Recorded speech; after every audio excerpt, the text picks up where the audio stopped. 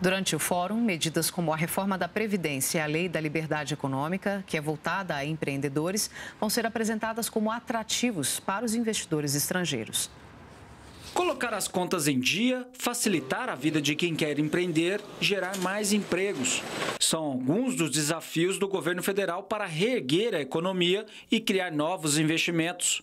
E para mostrar a investidores estrangeiros essa nova cara do Brasil e que vale a pena investir aqui, será realizado em São Paulo o Fórum de Investimentos Brasil 2019. A confiança dos empresários, a confiança do consumidor começou a recuperar, né? a taxa de juros chegou num patamar bastante baixo, os mercados de crédito estão reagindo, tanto para consumidor quanto para empresas, e nós já estamos identificando sinais de retomada tanto na produção quanto no consumo, o que nos deixa otimista com relação à perspectiva de crescimento econômico. No Fórum Brasil de Investimentos, considerado o maior evento do setor na América Latina, o governo pretende revelar um país de mudanças, com um cenário econômico de juros baixos, reformas no campo político e grande potencial em infraestrutura a ser explorado um ambiente positivo para grandes oportunidades. Nós temos um dos maiores mercados do mundo. Né? O Brasil é o oitavo PIB global, dependendo do critério, uh, está entre as dez